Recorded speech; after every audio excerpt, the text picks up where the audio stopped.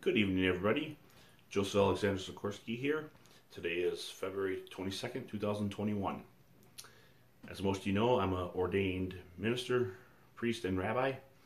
And today I'd like to talk about racism and why networks like ABC and NBC suck.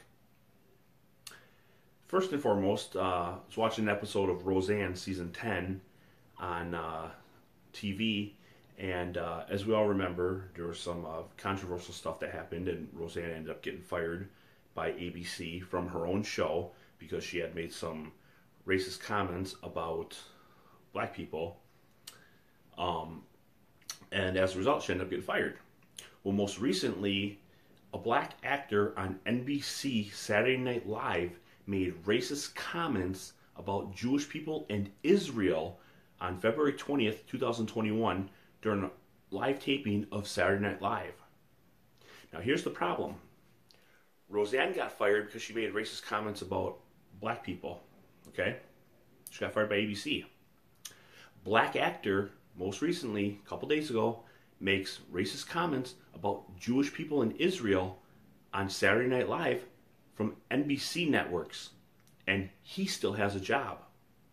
Why? Why is there a double standard?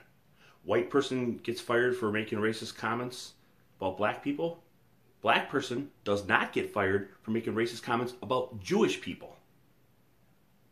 Why is there a double standard?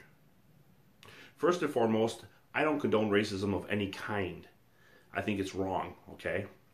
But I'm pointing out the double standard here that there's a lot of black people out there who are racist and they play the race card when they get caught in their own trap.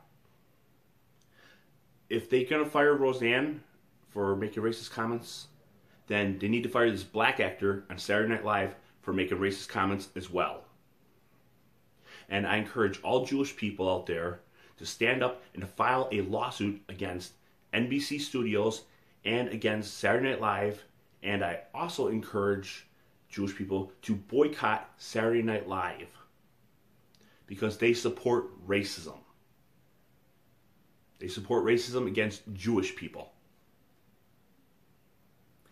Thank you for your time. May God bless you.